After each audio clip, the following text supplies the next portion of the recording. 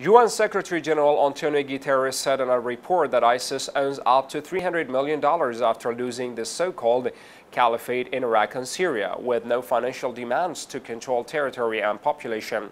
In the report, which was presented to the Security Council on the threat posed by a terrorist group, Guterres stated that low frequency of attacks by the armed group may be temporary. He said he believed ISIS was able to channel these funds to support terrorist acts inside Iraq, Syria, and abroad using services such as illegitimate money transfer companies.